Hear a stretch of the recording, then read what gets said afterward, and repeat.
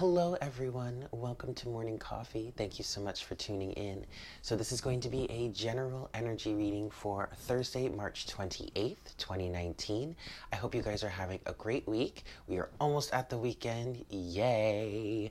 Um, some good news. Today is March 28th, which means Mercury starts going direct after today finally. I mean, this one has been a really very, very strong, very, very strong um, retrograde for the emotions. Um, I don't usually get all that affected by Mercury being in retrograde, but this time it, um, it was moving through Pisces, and for all of us, it was really just a big purge, like a super, super emotionally purging situation for a lot of us. And that's really what we've been talking about here in Morning Coffee this week. So I'm really excited to see what comes out today um, for this last day of that retrograde. Um, yeah, so let's just get straight to it. But I do want to let you guys know I will be doing happy hour tonight. So if you would like to get on the list, in advance, you can go right ahead and just send payment and make sure uh, to my PayPal account, but also make sure that you put your question in the notes section. Yes. And if you like, you can let me know um, that it's for uh, happy hour. Happy hour questions are uh, answered in the single for a single question format, and they are twenty dollars discounted to twenty dollars instead of thirty during happy hour only. Okay. All right, guys. So let's just get straight to it.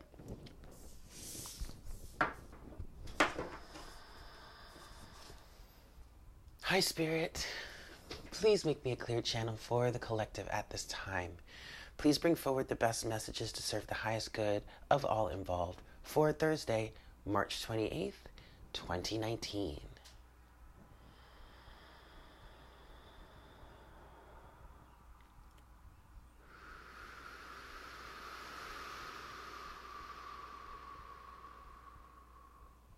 Thank you so much, Spirit.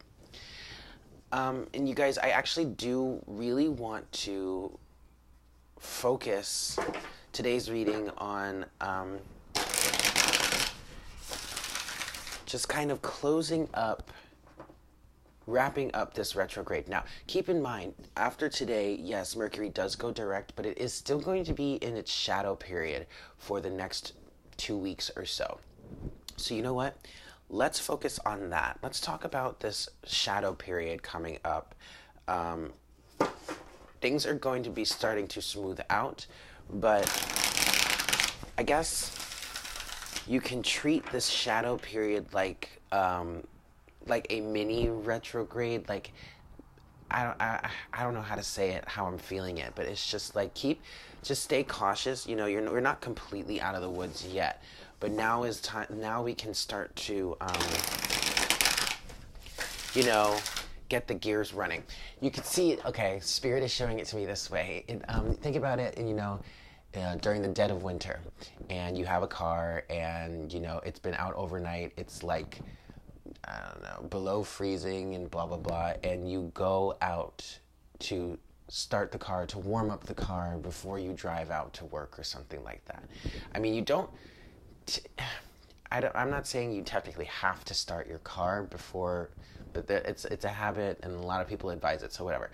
Um, and I'm also not a mechanic, so what am I even talking about? but it's that it's like that. Okay, you're starting your car um, before you like to warm up your car before you go off to drive to work or something like that. So that's I guess how you can really see. That's what Spirit was showing me.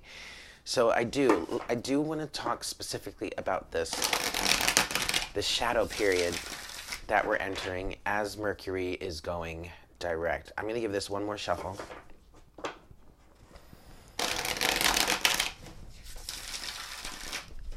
All right, let's see what we've got here, Spirit, for today, March 28th, 2019, but also um, let's talk specifically about this shadow period, please, Spirit. Ooh, okay, we got something already. So, this shadow period, Mercury moving direct. Mercury moving direct for the next two weeks.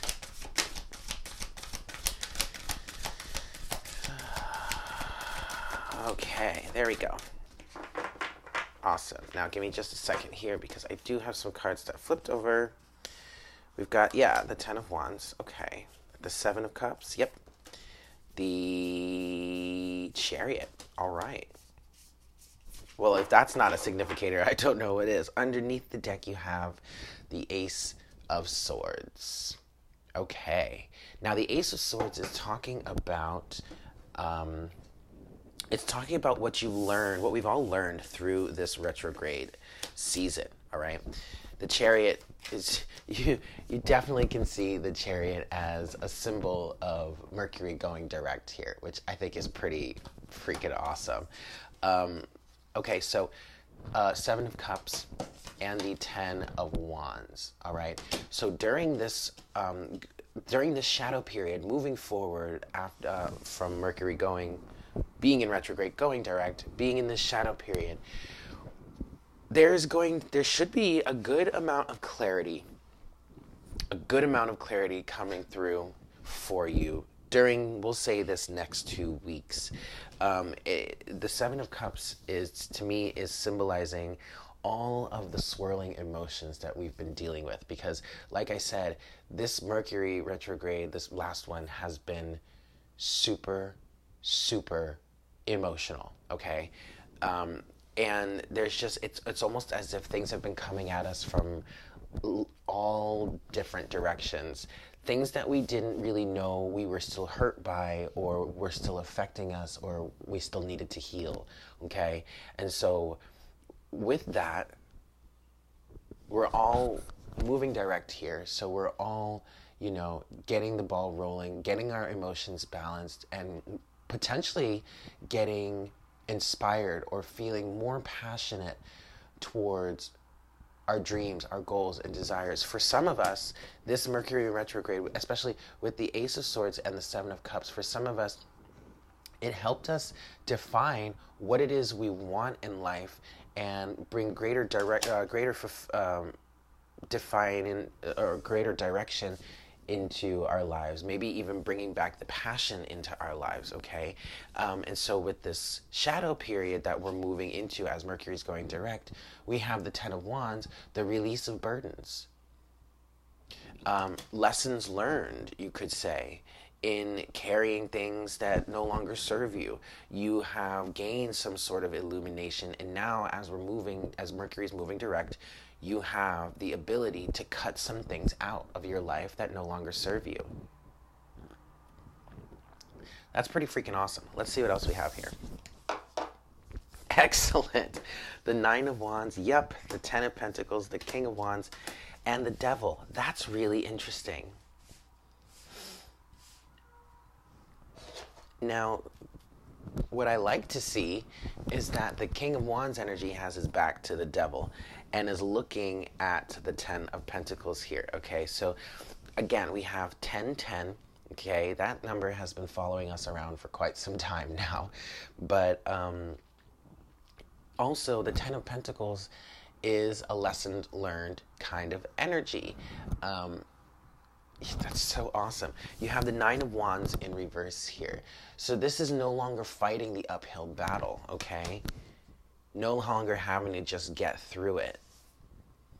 Uh, oh, and so another thing that's coming through here at this moment, um, my friend Betsy of Fearless Intuition, she mentioned that you know during this retrograde period, retrograde see, uh, yeah, this retrograde period, emotions are going to be really running really high, and it's not a time to deal with them logically. You'll really just have to feel them. Just feel your way through them. And so now that Mercury is going direct, you have you can start looking at things logically and making those cuts, okay?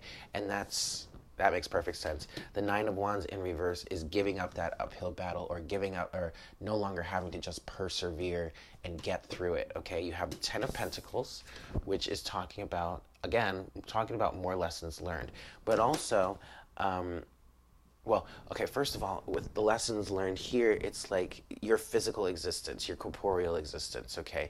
This is this is setting you uh, setting you up to be to get towards your greater um, fulfillment in life. It set you up to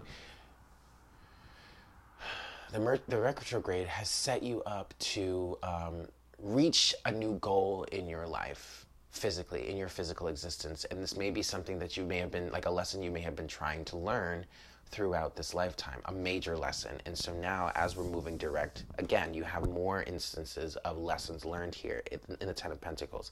King of wands is um, reinstilling your self confidence, maybe gaining a new sense of self confidence, having a greater idea of what you want, and not being afraid to go after it, knowing when the right time to strike is. And then you have the devil here. Okay, I just heard the devil is in the details. Um, now, also, the King of Wands can be a pretty prideful energy, very egoic, uh, could also be pretty narcissistic, but coupled with the devil here, even though the back, his back is to the devil, um, so moving into this shadow period, you know, you you may have overcome some devilish things. Um, you may have turned your back on some fears, anxieties. Um, and all that stuff don't yeah they keep saying the devil is in the details also the other thing i want to tell you is don't allow yourself to really get too uh, overzealous i guess um, just because you know i guess i should say humble yourself a bit here uh, as we're moving through this shadow period because again it is a shadow period. So also there's nothing to fear. Um, there could be a situation like it, it's it's going direct. It's not we're not completely out of the woods yet. That's what i mean. So still keep your wits about you um, there could be some resurgences of things trying to pop up trying to pull you back a little bit but again that is effect of the shadow period that we're still in so like like i said we're not completely out of the woods yet okay but um, but then the big message here is that the devil is in the details. So use this shadow period to really go through things with a fine tooth comb and really make sure that you got the lesson down. You're really releasing the burdens with the Ten of Wands. You really got the lesson down with the Ten of Pentacles. Okay? That's excellent. So now we're going to get some clarification. I'm going to use the Epic Tarot here.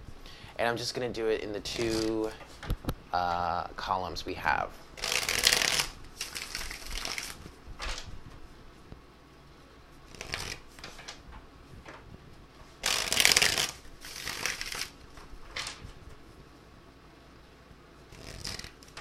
Okay, so I do want to speak to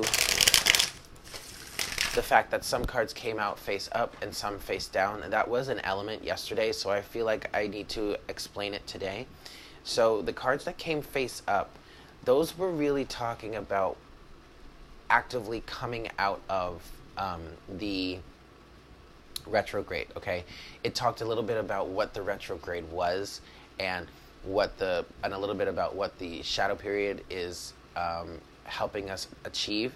But then the nine, the, the, the, the, rest of the cards on the bottom that really came up face down, um, those are the cards that are speaking to um, the real elements of the shadow period.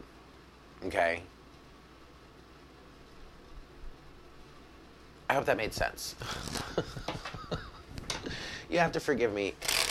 I am still feeling the retrograde a little bit. Um, I'm kind of tired today, and uh, my brain is a little foggy right now, but I hope that made sense. So these cards were a glimpse, a little bit of a glimpse, but it was also really talking about the retrograde period itself and what we came out of, right?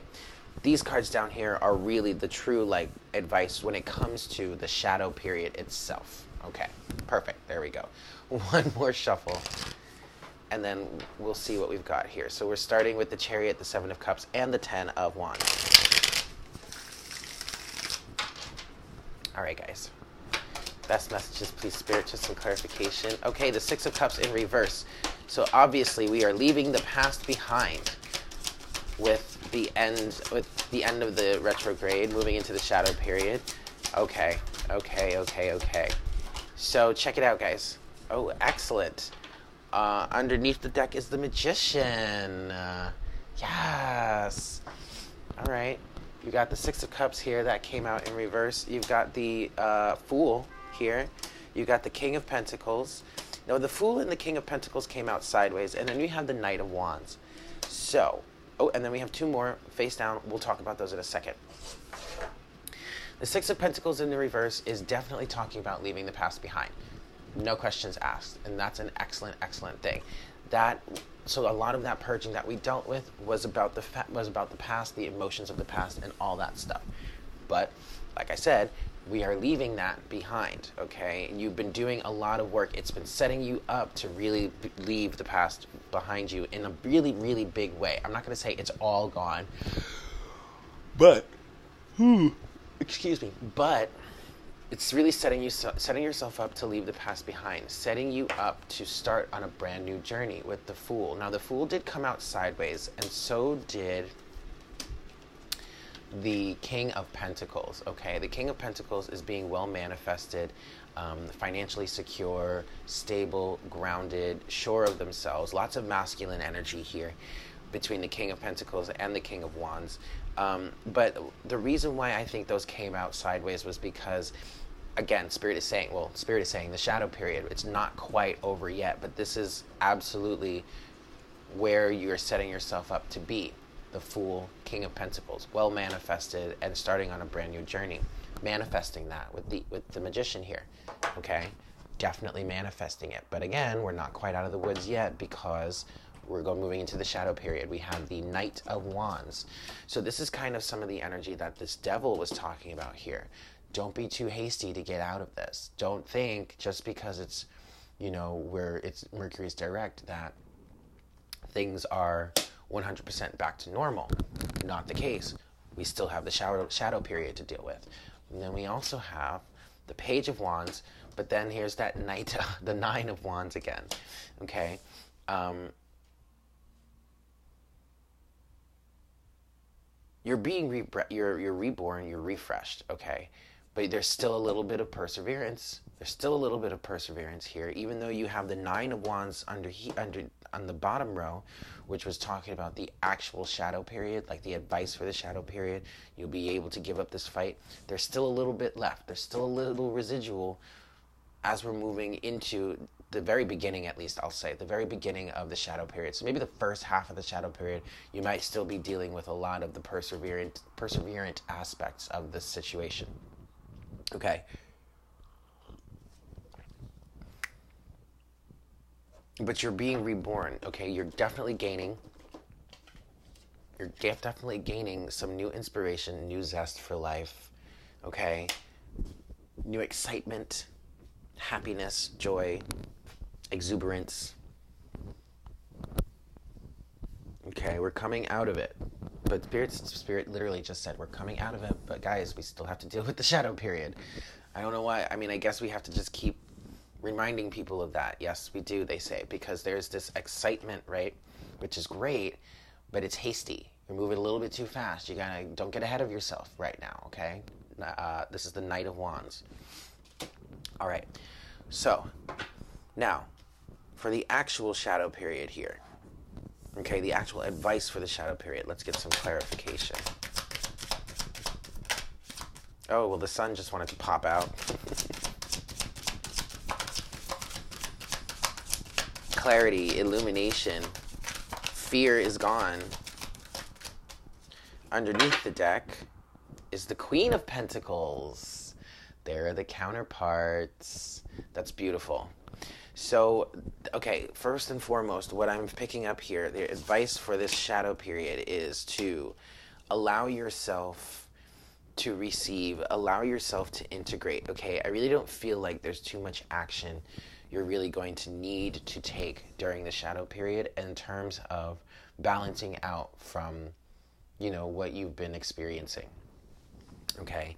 Um, So, whereas the actual retrograde itself was helping you to get grounded and manif- and, and you know uh, a better manifested version of yourself with this King of Pentacles here, um, maybe even sort of re reinstill some sort of commitment, maybe between yourself or, or like for yourself or between you and someone else or you and like a project or something. Maybe it's a creative project, especially with this Page of Wands here what the Queen of Pentacles underneath the deck moving forward is speaking to is um, allowing something to come to you, allowing the manifestation to just happen. Okay, you've been doing a hell of a lot of work during the actual retrograde, which has set you up to become way more balanced, and get you moving in the right direction again with the chariot and to release some sort of burdens here with the 10 of wands that's not underneath all this mess and so now moving forward into the shadow period you have a time of integration with the queen of pentacles to balance out greater illumination with the sun for some of you what this king of wands and the devil is speaking to and i just got this just now but this is the end of dealing with some sort of narcissistic tendencies or narcissistic people or narcissistic energies, very egoic energies that you may have um, entertained a lot in the past. But you see, the sun can speak to narcissism, but it also can speak to illumination, and it's been coming out all week and it's been speaking to that illumination. That was just a really specific thing that just came through right now. Okay, let's see what else we have. We've got the Seven of Cups, the Ten of Swords, and, ten- and Temperance. Look at all these tens, guys. Ten of Wands, Ten of Pentacles, Ten of Swords. The worst is behind you. And you have the Seven of Cups again.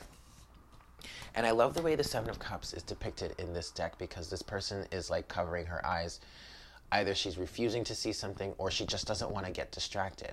And during this shadow period, like I said, you're going to have the chance to cut some things out, to cut out the confusion, all the chaos, and all that. Ten of Swords. Again, lessons learned. Look at all these tens. So many completions here. Ending of cycles of narcissism for sure for some of you. Spirit literally just said that. And then finally, you have temperance balancing out. I told you during this shadow period, you're going to be balancing out. So just allow it to happen. There really isn't too much work that you need to do. Just allow the balance to happen, okay? Maybe spend these next two weeks um, in a bit of a meditative state, just taking it easy. Um, maybe not uh, I don't know, maybe spend some a good amount of time in solitude, whatever feels right for you, just to balance yourself out, to meditate, and all that good stuff.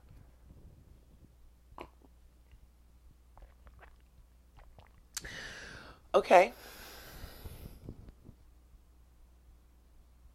Well, ultimately, this feels good, you guys. This feels really, really good. Oh, also, Temperance is saying is is is is delivering our favorite P word, guys. Patience. Like I said, we're not out of the woods yet. Okay. We still have to deal with the shadow period, but things are looking up. All right. Um, what do we want to do for oracle guidance this time, you guys? Uh, the animal spirits are calling. Yeah. And then I think I might just I might just leave it there. Let's see what the animal spirits have to say.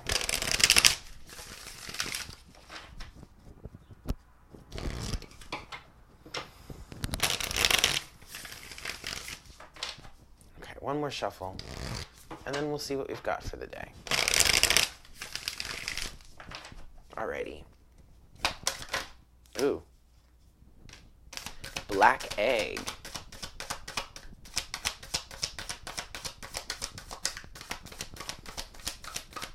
That's enough, they say. Okay. Excellent. And yeah, I'm really feeling like we should just leave it there for the Oracle guidance today. So, okay. Black egg.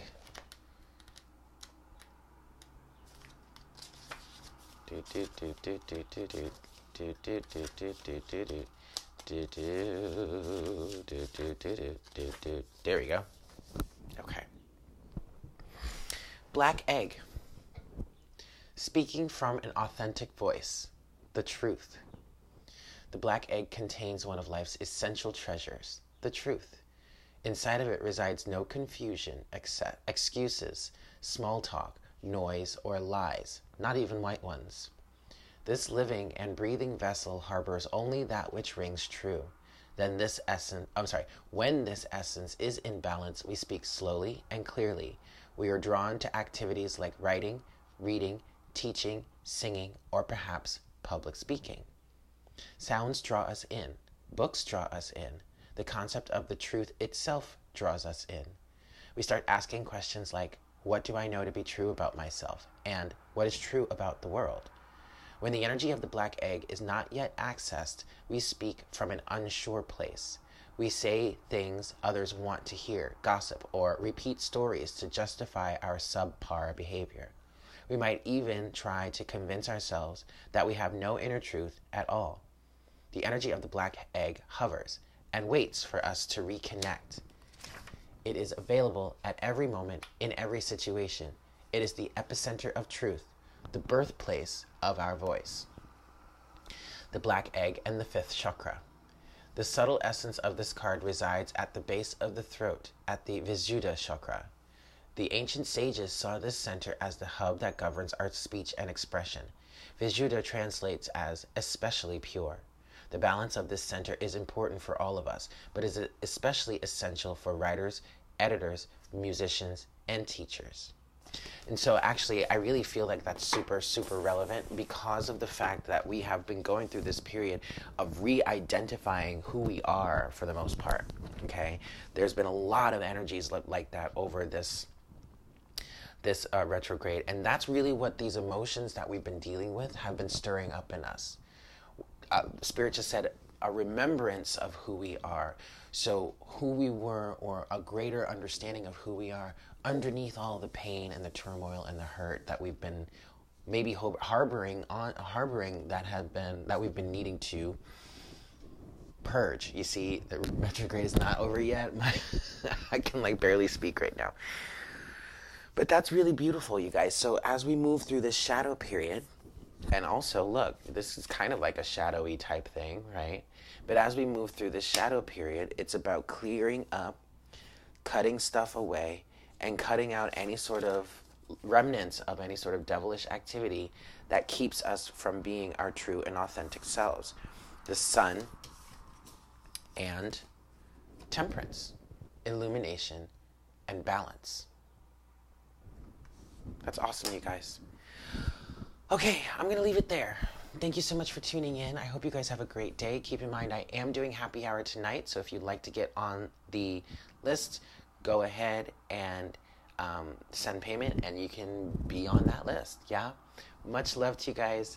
Oh, and also, I'll be getting the rest of the zodiac readings out by the weekend. Yes? Okay. Have a great day. Take care. Mwah. Bye.